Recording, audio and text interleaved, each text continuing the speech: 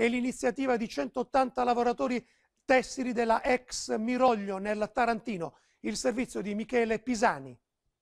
Sei un investitore serio, motivato, alla ricerca di idee e soluzioni per la tua azienda? Bene, questa potrebbe essere l'occasione giusta per te.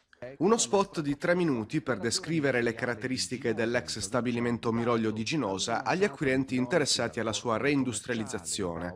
Lo hanno realizzato e postato su internet alcuni dei 181 ex dipendenti delle officine tessili in mobilità dal primo maggio scorso. Un'iniziativa singolare che segue di poche settimane la cessione dell'impianto dalla società piemontese Filatura e Tessitura di Puglia al comune ionico. Non era mai successo prima in Italia che un privato consegnasse le chiavi della propria azienda a un ente pubblico.